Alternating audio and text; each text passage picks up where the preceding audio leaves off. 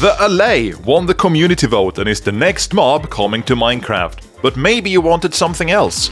With the official Minecraft Entity Wizard announced during Minecraft Live, this is now easier than ever before. You won't need to know any coding, and it also creates all the files for you with a click of a button. And later in this video, I'm gonna show you a model that I made with the Entity Wizard and put into Minecraft. The Entity Wizard is a Blockbench plugin, and Blockbench can be installed on your PC, but it can also be used on any device with a web browser. This way, you can use your phone to create a really cool pet or monster to show your friends later. Meanwhile, your parents are driving you home from your training or during your breaks in school. To help you out, I've added all of the necessary links down in the description below. You download or use Blockbench at blockbench.net. From here, you want to go into File, Plugins, and search for the Entity Wizard in the Uninstalled Plugins section.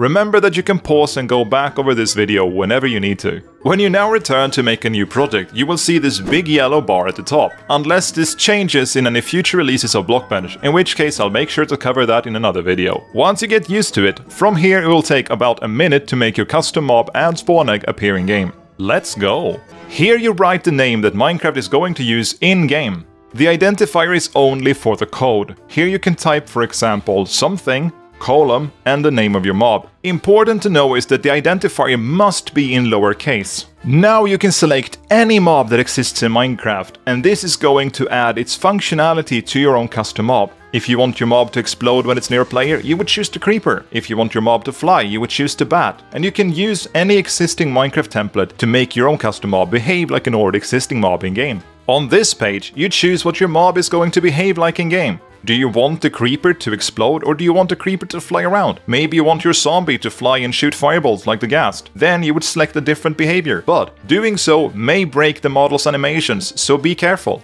The colors of your spawn egg are chosen here.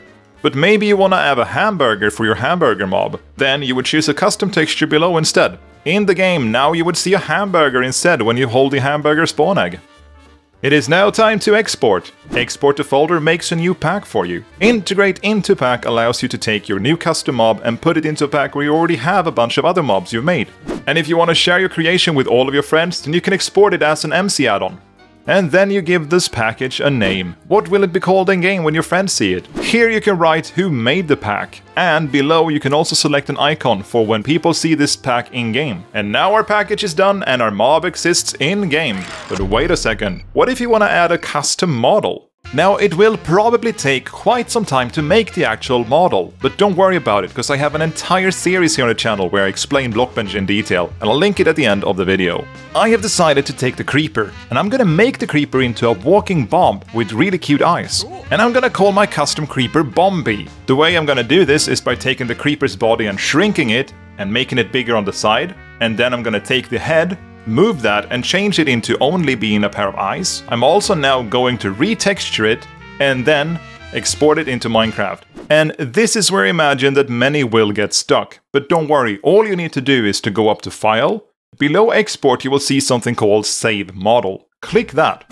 And then you want to go to Animation, Save All Animations, and on your textures, which you find through the paint menu, you want to make sure that your texture has been saved. If it hasn't, you will see a small save icon next to the texture on the list to the left. In Minecraft, you can now add this custom mob to a world that you've already made, or a new world. In the world settings, go down to Behavior Pack and activate this new custom package that you've added to Minecraft. Now, let's open the world and see this mob in our game. You will now find the egg of your mob at the end of the list of all the other eggs in Minecraft, or by searching for it up here in the top bar. Okay, let's see how it looks. Oh, that turned out really nice! You know what? I'm gonna share this package with everybody in the community Discord. So head over there if you wanna grab it for free.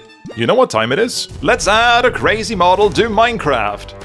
My mission has always been to inspire and guide people to their ideas. So with this model, I'm hoping to give you a taste of what's possible. Feel free to follow me on Twitter and visit my Sketchfab page for more inspiration. Jump cut, and we are back inside of Minecraft. Holy, that's a big thing!